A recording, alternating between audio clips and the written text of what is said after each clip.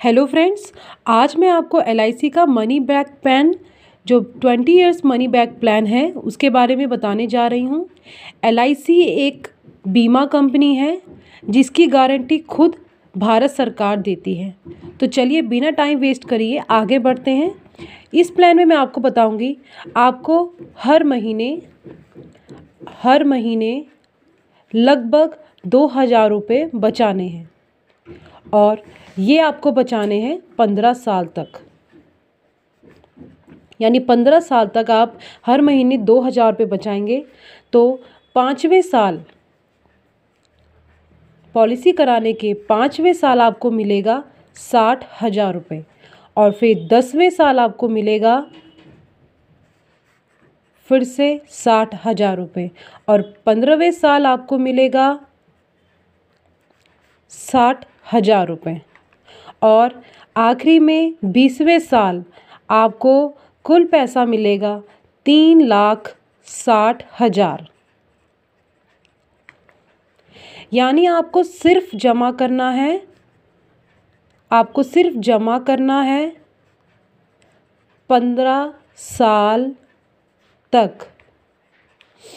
और आपको हर पाँचवें साल हर पाँचवें साल मिलेगा रिटर्न। तो है ना ये बहुत अच्छा प्लान इन सबसे बचाकर जब आपके पास इकट्ठा पैसा हो जाएगा, आप हर पाँच साल में भी उस साठ हज़ार का कहीं भी अपने बिज़नेस में या अपने लिए कुछ बड़ी चीज़ लेने में आप इस्तेमाल कर सकते हो। फिर दसवें साल फिर आपको साठ हज़ार मिलता है। फिर पंद्रहवें साल फिर आपको साठ हज़ार मिलता है। और बीसवें साल आखिरी में आपको तीन लाख साठ हज़ार मिलता है। इसमें आप कंफ्यूज मत होइए, आपको जमा सिर्फ़ पंद्रह साल तक ही करना है। बाकी के पाँच साल एलआईसी जमा करती है वो किश्तें और बीसवें साल आपको पूरा पैसा मिल जाता है। और अगर भगवान न करे, कभी कोई मिसहैपनिंग होती है या आपने दो महीने या तीन महीने पैसा जमा किया और उसके बाद आपको कुछ हो जाता है तो पूरा पैसा यानी पूरा तीन लाख साठ हज़ार रुपये आपके परिवार को जिसको आपने नॉमिनी बनाया होगा उसे मिल जाएगा। जिसको आप नॉमिनी बना के जाते हैं उसे मिल जाएगा। या फिर कभी आपके साथ ऐसा कुछ हो गया कि आपके हाथ पैर चलना बंद हो गए आपके साथ कुछ ऐसा हुआ कि अब आप का, काम करने के लायक ना रहें तो उस कंडीशन में भी आपको पूरा पैसा मिल जाता है।